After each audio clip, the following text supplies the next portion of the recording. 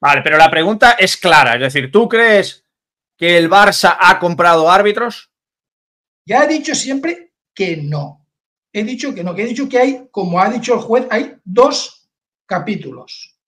Un capítulo, se ha metido mano en la caja del Barça.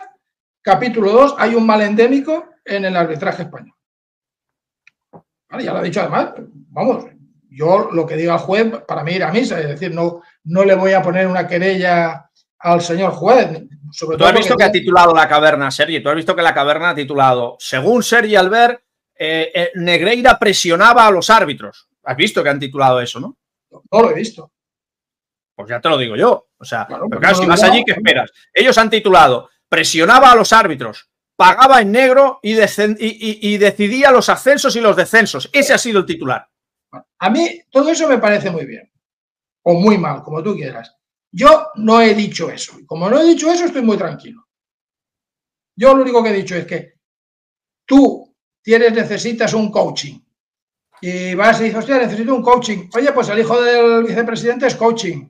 Hostia, pues, pues espérate, que me voy con el hijo está. Y los árbitros han dicho, que no lo he dicho yo, pues al final, yo, nada más digo lo que dicen los árbitros.